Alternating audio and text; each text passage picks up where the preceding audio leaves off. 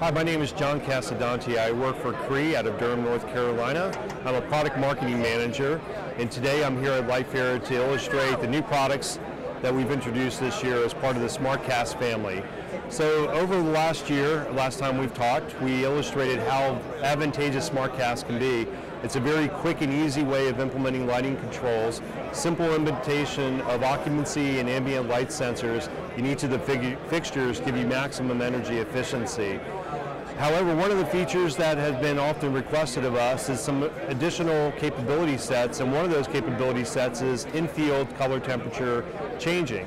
So as we discussed um, from last year, the easy way of implementing color changing is simply through our configuration tool. This configuration tool allows me to adjust many different features within the SmartCast system, but today again I'm going to do one of those features being the color changing capabilities.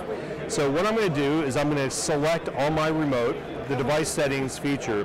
I'm going to ask the device to change my color temperature and I'm going to modify by first selecting which fixture or which group of fixtures I'd like to modify. So to illustrate to you how we do the color changing capabilities on Cree SmartCast, I want to show you first of all the configuration tool.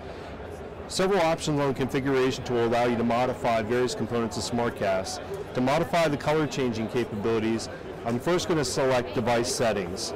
Once I select device settings, three options appear. Occupancy, daylight, and color temperature. So changing color temperature, obviously I cursor down and I select color temperature. It's going to ask me whether I want to modify all of my fixtures within my space or just modify the group that I've selected. And I'm, today I'm going to select modify group. Next I'm going to select the actual fixture by using my frequency selector and going directly to my lighting fixture.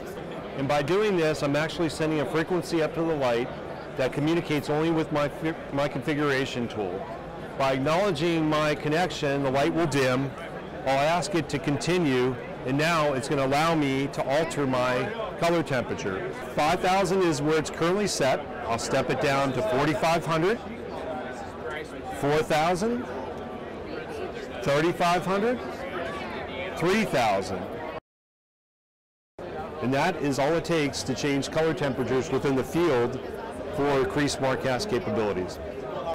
So by doing this, we're doing an in-field change to the color temperature. It only requires one fixture to do this for all the fixtures that might be installed in your network.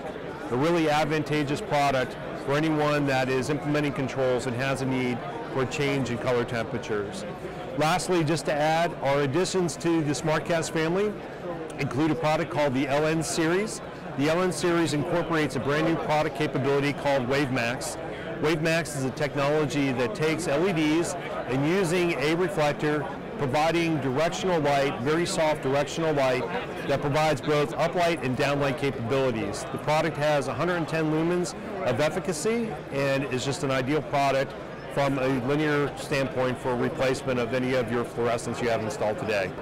And that wraps up our conversation on the improvements of Cree SmartCast. For additional information, please visit www.cree.com slash smartcast. Thank you very much.